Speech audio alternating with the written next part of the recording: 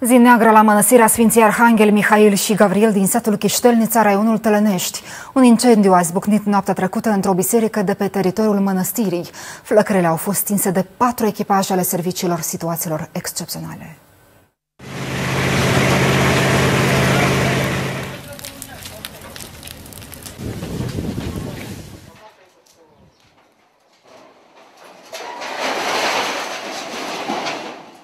Reparația mănăstirii din satul Chiștelnița a durat aproape 9 ani. Oamenii spun că au adunat ban cu ban, iar focul a distrus tot ce aveau mai sfânt. Chiar și așa, sătenii s-au mobilizat și în ceasul cel rău. Practic aici a alergat tot satul cu căldări, era imposibil cu căldarea să faci ceva. Și aici numai autospecialele. Sătenii sunt devastați de tragedie. Asta, asta era cărarea noastră, drumul nostru, care duminica ne sculam și venim la mănăstire, da? Mă? Și părintele s-a îmbolnăcit. mănăstirea noastră. Că nici ne rugam la Dumnezeu să îngropam morții cu mine, venim aici. Da, mă, n-am rămas cu nimic. Suntem săraci, răchiți pământul.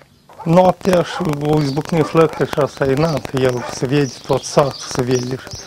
Eu, so, e o tragedie în orice caz pentru tot satul și pentru toți creștini.